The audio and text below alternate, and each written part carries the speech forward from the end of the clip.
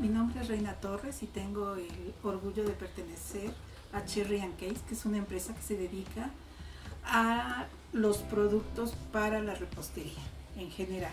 Tenemos cantidad de productos, es una infinidad. Todo lo que ustedes necesiten o se puedan imaginar, Cherry lo tiene. Bueno, hoy mi especialidad es pintura, pintura decorativa. Entonces hoy vamos a hacer una gelatina pintada. Casi no se ve, pero van a ver que es muy fácil. Lo primero que tenemos que hacer es nuestra gelatina. Aquí yo ya la tengo. Es una gelatina de leche que para lograr esto necesitamos 4 cucharaditas de grenetina, una tacita de agua y un litro de leche. Vamos a disolver nuestra grenetina en la tacita de agua y luego se la vamos a incorporar a la leche de la manera más tradicional. Ya le ponen sus sabores, su azúcar, todo. Eso creo que todos lo sabemos. Pero vamos a empezar ahora con lo que la vamos a pintar, que esa es una sorpresa. Empezamos. Lo que vamos a hacer ahorita es a preparar nuestra grenetina. Primero vamos a necesitar un cuarto de taza de agua y una cucharada medidora de grenetina. Aquí la tenemos. Vamos a incorporar la grenetina en el agua, ya saben, de manera de lluvia.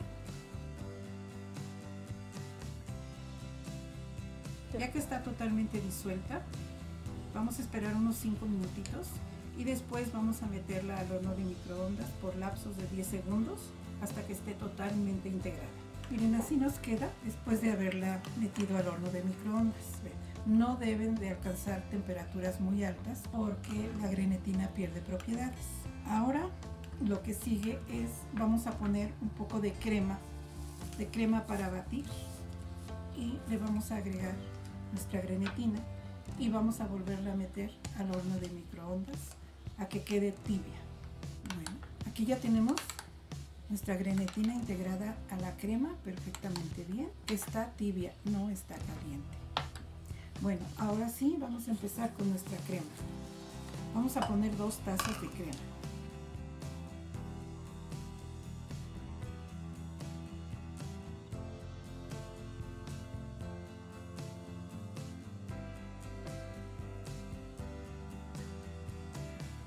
Empezar a batir primero a velocidad baja y ya después le vamos subiendo velocidad y esta se la vamos a ir incorporando en forma de hilo. Bueno, miren, ya mezclé la crema y miren cómo queda. Así nos debe de quedar. La necesitamos con esta consistencia para poder dar volumen. Lo que se ve bonito en este trabajo es el volumen. Entonces miren cómo queda. Ahora bien, habrá ocasiones en las que necesite un poquito más líquida.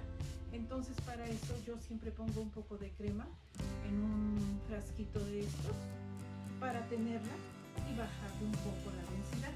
Entonces miren, empezamos a poner nuestros colores aquí en una paleta. Este, eh, les recomiendo también un azulejo porque es donde se puede manipular.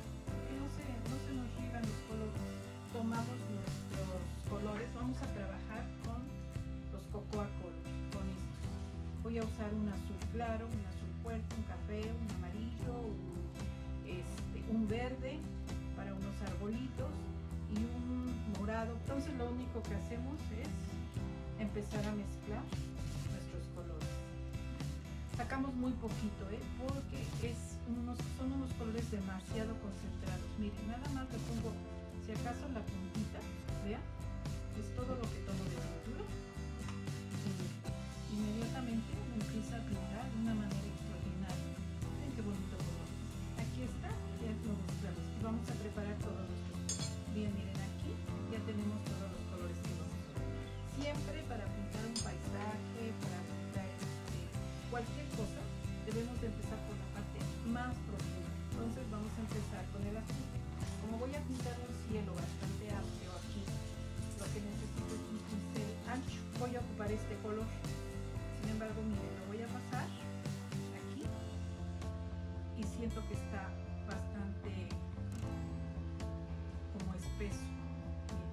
me cuesta un poco de trabajo este, Entonces es cuando funciona esto. Ponemos poco, un poquito. Así. Entonces nada más le voy a dar un toquecito así para hacerlo un poco más fluida, pero poquito, que vean la diferencia. Inmediatamente se me extiende mucho más. Los cielos siempre se pintan de derecha a izquierda. No vamos a, este, pintarlos así porque si no falso. Si ustedes quieren poner unas nubes, lo pueden hacer empezamos a tener cierta textura. Si algo no me gusta, por ejemplo, quiero aclarar un poquito más, entonces con la misma crema puedo moverlo. Descargamos un poquito acá y lo puedo usar también.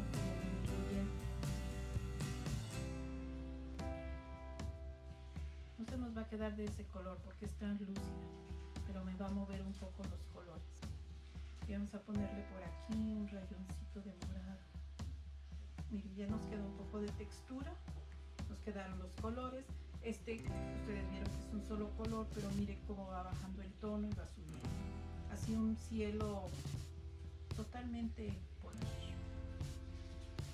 Ahora vamos a sacar acá unos arbolitos, unos arbolitos que estén por acá apenas este, medio disimulados.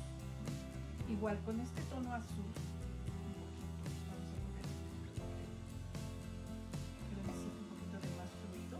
primero para marcarlo y ya después le vamos a poner textura. Aquí hay unos árboles por este lado, vamos a poner, pero están lejanos, entonces no están definidos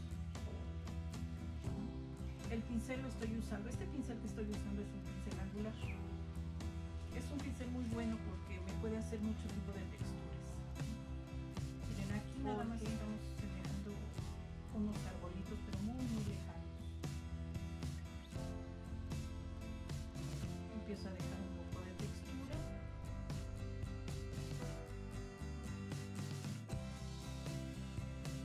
Ahora vámonos acá con, vamos a hacer una cabañita una cabañita en esta parte y aquí vamos a sacar un río un río de una vez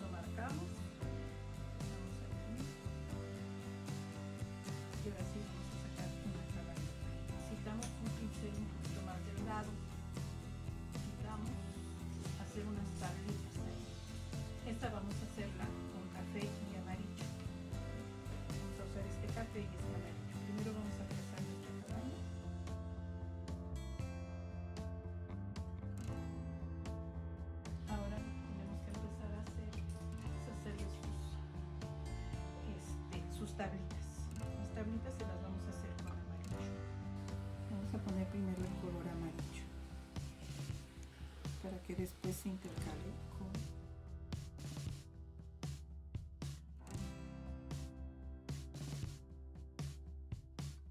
empezar por este lado porque vamos a imaginar que la luz viene acá entonces esto está más iluminado y esto está más oscuro. Entonces vamos a ponerle más oscuro de ese lado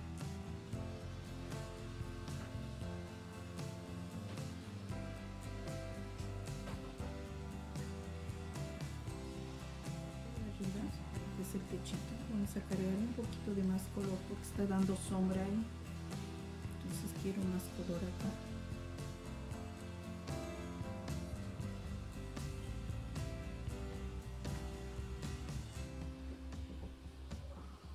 Ahora vamos a ponerle a marcarle su puertita.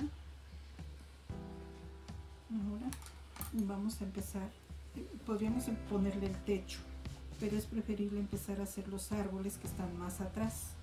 Para eso, lo primero que hago siempre es voy a marcar aquí un pinito.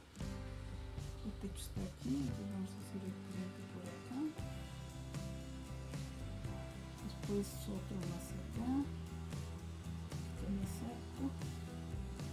Luego otro por acá. Así, que llegue más acá ya los tenemos marcados ahora sí vamos a empezar esto puede hacerse con un pincel de abanico o un pincel angular este pincel angular es muy, les repito es muy versátil y es el que a mí, a mí la verdad me gusta más. Aquí vamos a poner un poquito fluido y vamos a empezar. Con este vamos a empezar. Marco la puntita y empiezo.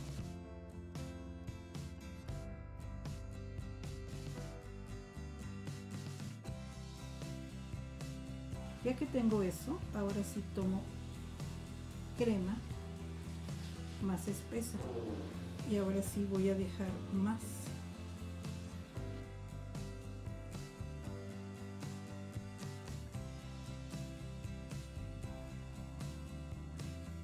Ahora vamos a ponerle un poquito de nieve con blanco. Vamos a hacer el techito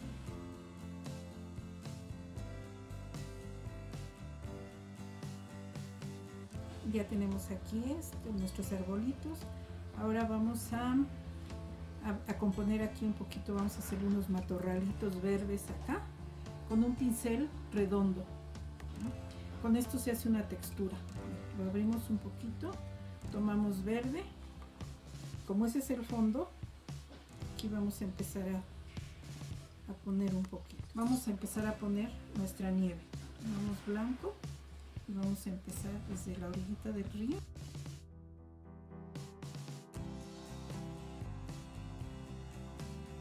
Empezamos a colocar todo lo que es. Aquí tenemos que irnos con un poquito de cuidado nada más para dejarlo encima ¿eh?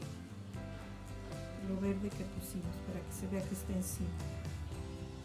Vamos a hacer aquí como que está una montañita de nieve para darle la forma vamos a marcar un poquito.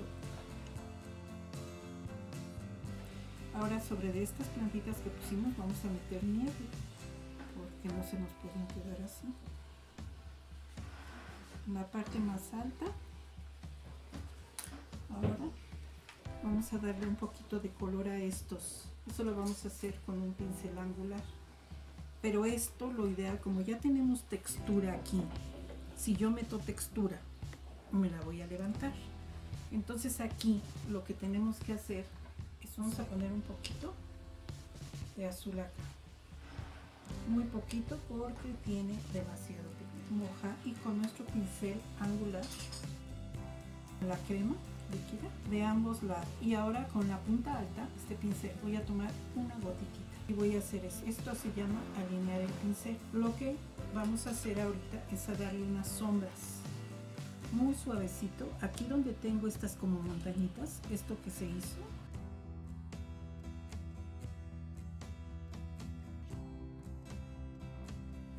Ahora igual con café vamos a hacer unos tronquitos secos. Miren cómo se está viendo. Entonces vamos a tomando otra vez el cocoa, que es con el que estuvimos pintando todos nuestros la crema. Vamos a tomar una cosita de nada igual de, de café y ya nada más vamos a poner unos tronquitos secos ahí.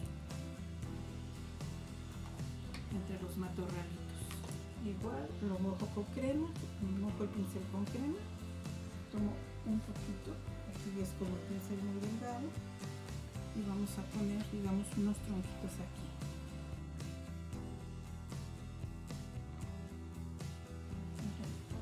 Hacemos que se asomen unos tronquitos de arbolito bueno, pues aquí tenemos nuestra gelatina, la cual pintamos con crema batida. Miren, este es un trabajo muy sencillo, muy fácil, y ustedes dirán, ah, sí, pero ella sabe pintar. Cierto, pero no le tengan miedo. Este, es muy fácil, es muy sencillo, nada más que ustedes se tengan la suficiente confianza. Ahora bien, hay otra opción.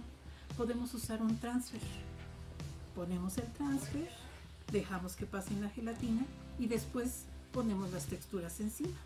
Y es un trabajo mucho más sencillo y nadie va a andar investigando si ustedes saben pintar o no. Así que opciones hay. Así que a trabajar, chicas. A nombre de Cherry y el propio, muchísimas gracias y esperamos vernos muy